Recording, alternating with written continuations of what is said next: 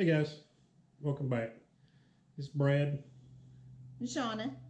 We just want to give you a little recap of our tournament from uh, couples on Guntersville, April the 2nd. So, no pre fishing. We just kind of winged it, went down there fishing. We started out in a place that I felt like there'd be some fish. Started throwing moving baits early. Uh, had a couple on lost them. And it was cloudy, cold. Shawna took a nap, got warmed up, waited till the sun come out, and we started uh, throwing a Senko, just about the only thing left to throw that we knew they'd want something slow and just worked it in the grass on the edge of the grass line. And we stayed in about four foot of water. We didn't have our first keeper until it was about 11 o'clock. And then I ended up catching two and big fish, and Shawna caught three of our five fish limit. All five fish come on the Senko Texas rig. Uh, I think she did catch one on wacky rig, and then after that, everything was Texas rig weightless.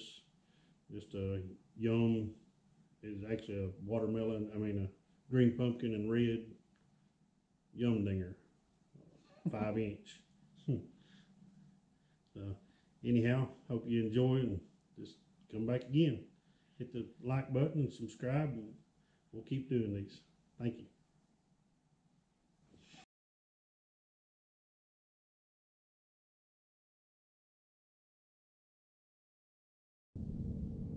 But water being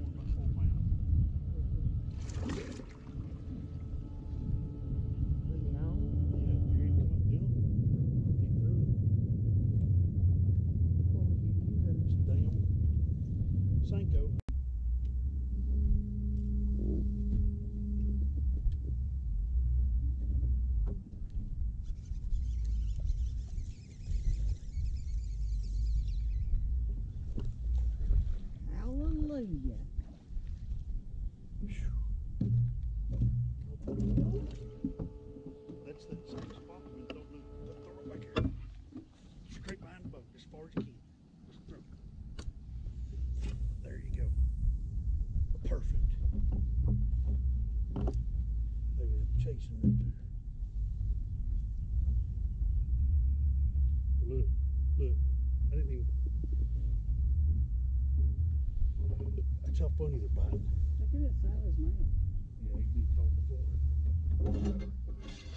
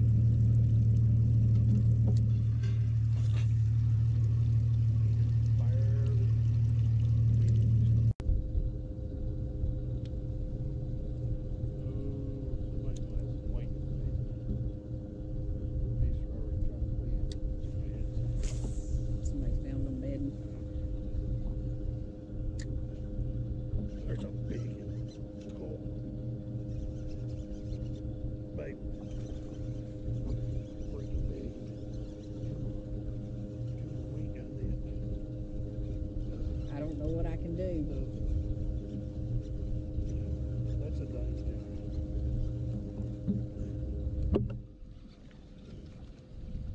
Oh, wow. That's a good Good job, baby. Look at that.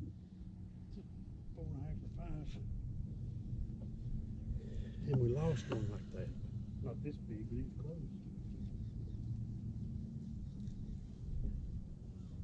We're getting there, baby. I need to be way further to the left.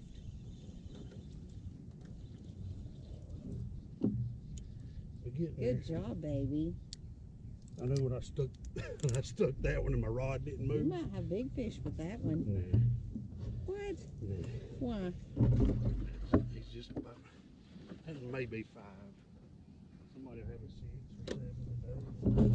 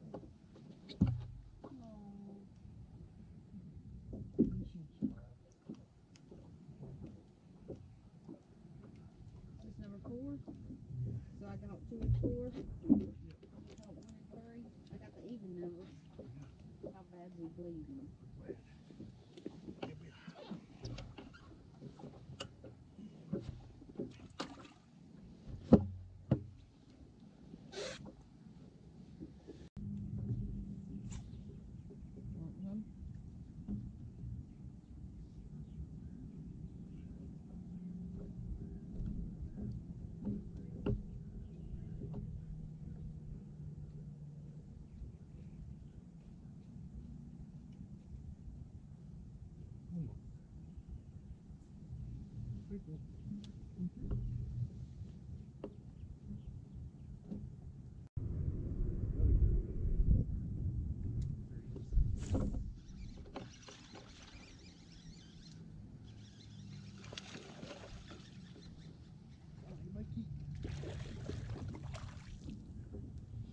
that was close one. Hell, I was I'll sitting- play it. I was sitting there getting these short.